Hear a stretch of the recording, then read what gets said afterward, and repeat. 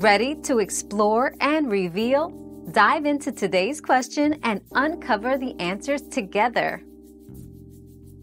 To get your VAT refund, start by ensuring your purchases are eligible at the point of sale, requesting a VAT refund form from the retailer. Before leaving the country, present your purchases, receipts, and completed form at the customs desk at the airport or border for a stamp. Depending on the country, you may receive an immediate refund at a refund counter or need to mail your stamped form upon returning home.